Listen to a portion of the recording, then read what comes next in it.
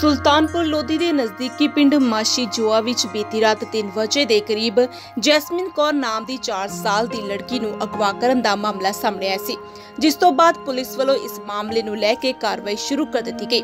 ਹੁਣ ਡੀਐਸਪੀ ਸਰਵਨ ਸਿੰਘ ਬੱਲ ਨੇ press conference ਕਰ ਇਸ ਮਾਮਲੇ ਨੂੰ 4 ਘੰਟਿਆਂ ਵਿੱਚ ਸੁਲਝਾਉਂਦਿਆਂ ਇੱਕ ਦੋਸ਼ੀ ਨੂੰ ਗ੍ਰਿਫਤਾਰ ਕਰਨ ਦਾ ਦਾਅਵਾ ਕੀਤਾ ਹੈ।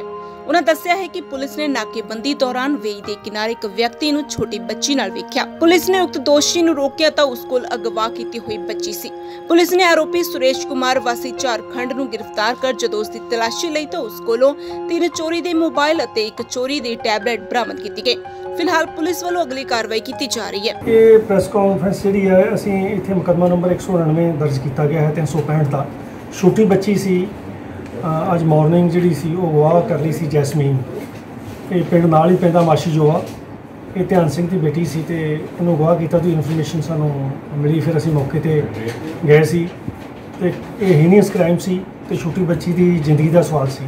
ਇਸ ਕਰਕੇ ਕਵਰ ਕਰਦੇ ਨੇ ਇਹ 3-4 ਘੰਟੇ ਦੇ ਵਿੱਚ ਹੀ ਅਸੀਂ ਜਿਹੜੀ ਛੋਟੀ ਬੱਚੀ ਆ ਰਿਕਵਰ ਕਰ ਲਈ ਸੀ। ਅਗਵਾ ਕਰਨ ਦਾ ਕਾਰਨ ਕੀ ਸੀ ਸਰ? ਅਗਵਾ ਕਰਨ ਦਾ ਕਾਰਨ ਹੈ ਵੀ ਇੱਕ ਸੁਰੇਸ਼ ਕੁਮਾਰ ਹੈਗਾ। ਇਹ ਪ੍ਰਵਾਸੀ ਮਜ਼ਦੂਰ ਹੈਗਾ। ਇਹ ਪਹਿਲਾਂ ਕਪੂਰਥਲੇ ਰਹਿੰਦਾ ਸੀ, ਝਾੜਖੰਡ ਤੋਂ 1 ਸਾਲ ਤੋਂ ਆਇਆ ਸੀ ਤੇ ਇੱਥੇ ਤਕਰੀਬਨ ਇਹ 10 ਕੁ ਦਿਨ ਤੋਂ ਝੌਂਪੜੀ ਬਣਾ ਕੇ ਵੇਈਂ ਦੇ ਕੰਢੇ ਰਹਿ ਰਿਹਾ ਸੀ ਤੇ ਇਹ ਚੋਰੀ ਕਰਨ ਦੀ ਨੀਤ ਨਾਲ ਇਸ ਪਿੰਡ ਦੇ ਵਿੱਚ ਗਿਆ ਸੀ। ਉੱਥੋਂ ਇਹ ਤਿੰਨ ਮੋਬਾਈਲ ਤੇ ਇੱਕ ਟੈਬਲੇਟ ਜਿਹੜਾ ਹੁੰਦੀ ਛੋਟਾ ਜਿਹਾ ਕੰਪਿਊਟਰ ਉਹ ਚੋਰੀ ਕੀਤਾ ਸੀ। ਨਾਲ ਹੀ ਇਹ ਛੋਟੀ ਬੱਚੀ ਸੀ ਘਰ ਦੇ ਵਿੱਚ, ਉਹਨੂੰ ਇਹ ਨਾਲ ਲੈ ਆਇਆ। ਵੀ ਮੈਂ ਕੋਈ ਨਾ ਕੋਈ ਬਾਅਦ ਦੇ ਵਿੱਚ ਫਰੋਤੀ ਵਗੈਰਾ ਦੀ ਮੰਗ ਕਰਾਂਗਾ, ਪਰਿਵਾਰ ਕੋਲੋਂ। ਸੁਲਤਾਨਪੁਰ ਲੋਧੀ ਤੋਂ ਸਿਮਰਨਜੀਤ ਸਿੰਘ ਦੀ ਰਿਪੋਰਟ। ਇੱਕ ਫੋਨ ਤੁਹਾਡੀ ਬਦਲ ਸਕਦਾ ਹੈ ਜ਼ਿੰਦਗੀ। ਜੇਕਰ ਤੁਸੀਂ ਪਰੇਸ਼ਾਨ ਹੋ ਤਾਂ ਇੱਧਰ ਉੱਧਰ ਨਾ ਘੁੰਮੋ।